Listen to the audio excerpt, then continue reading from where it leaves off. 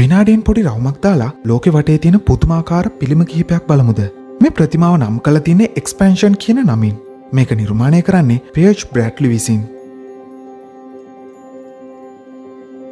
මේ තියන්නේ ගුවන්යු ප්‍රතිමාව.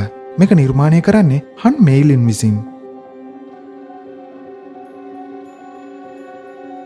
මේ තියෙන කොලෝසස් ප්‍රතිමාව. මේක නිර්මාණය කරන්නේ ජෑම් බොලානි විසින්. මේ ප්‍රතිමාව නම් කල තින්න පොප්ට් අප් කියෙන් නමින්.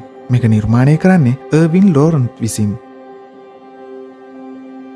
මේ තියන්න මෙටල් මෝෆිසස් කියෙන් නමින් නිර්මාණය කල තින චාලක මූර්තියක්. මේක නිර්මාණය කරන්නේ ඩේවිඩ් සර්නි විසින්. එතකොට මේ ප්‍රතිමාව නම් කල තිනෙ ද මදලෑන් කෝල්ස් කියෙන් නමින්. මේක නිර්මාණය කරන්නේ නිකොලායි නිකටන් විසින්.